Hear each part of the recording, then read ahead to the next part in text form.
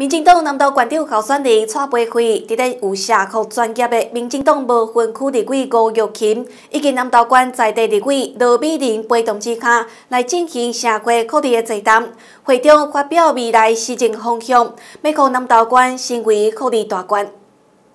民进党南投县长候选人蔡培慧来个草屯举办社会福利座谈会，吸引不少社会团体代表以及关心社会政策的福官、社会督导、家庭照顾者前来参加并现场活动。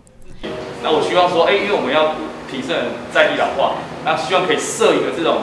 国民提升的运动中心，让我们这些可能在地的居民可以去运动。对啊，然后还有小孩子的运动啊、滑板啊等等的这些设施设备。我真的很想要知道，我们的计程车其实在修改成无障碍计程车这件事情上面，我知道中央其实有在推，可是南投好像这样子的资源是非常少的，根本没有鼓励乘车业他们去进行这样的修改。但是南投很欠社区居住的部分的哈，社区居住不是只有在城市才有需要，在农村其实很多心智障碍者现在可能独居或者是。他爸爸妈妈都已经失能了，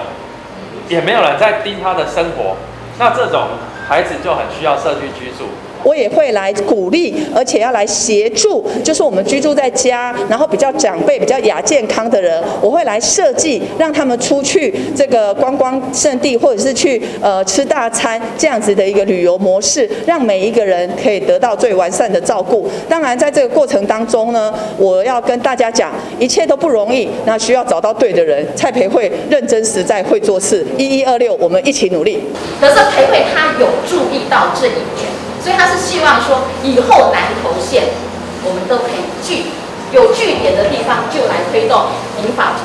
俱乐部。李伟、杜比林以及社会专业的不分区立委高玉琴，两人亲身前来参加支持一挂，更加是非常肯定蔡培辉为南投县量身订做，提出各项社会福利政策。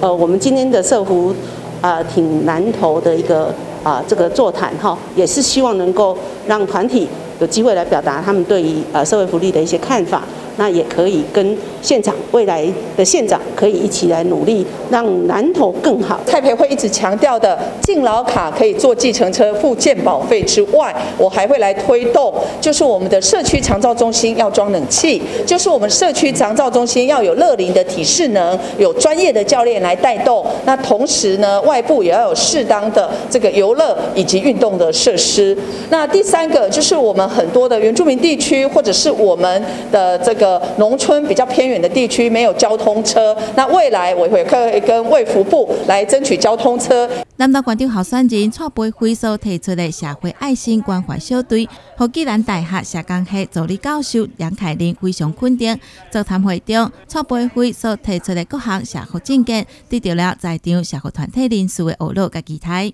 记者金山差不多。社会福利，听南投。